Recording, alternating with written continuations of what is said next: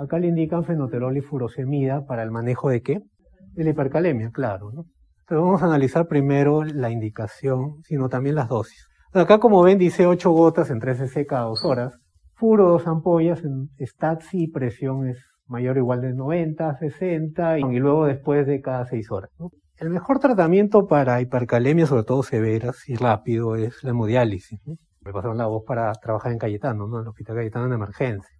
Entonces, en las primeras horas que venían pacientes con falla renal crónica, hipercalemia, lo que hacíamos acá, y creo que hasta ahora se hace, aunque hay mayor disponibilidad de diálisis, es el manejo. Pues, En esa época no teníamos albutamol, ¿no? teníamos fenoterol, por eso dice acá fenoterol. Igual la insulina, la que le llamaban solución polarizante, y a veces bicarbonato. Pero allá me llegó un paciente y le digo al residente, inclusive darle tres, ¿no? Ya, ¿qué hay que, qué hay que indicar, no? Nada, no, no sabía.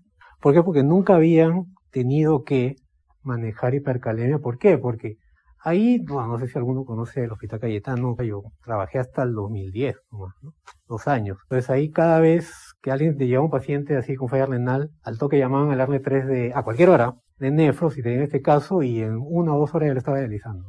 Inclusive en la misma emergencia, ¿no? Jalaban su máquina de diálisis, la misma residente, y los dializaba ahí, ¿no? Pero ya no tenían que, no necesitaban pues, el manejo médico de hipergalemia. Acá no, acá nunca solo dializaban hasta las 6 de la tarde, ¿no?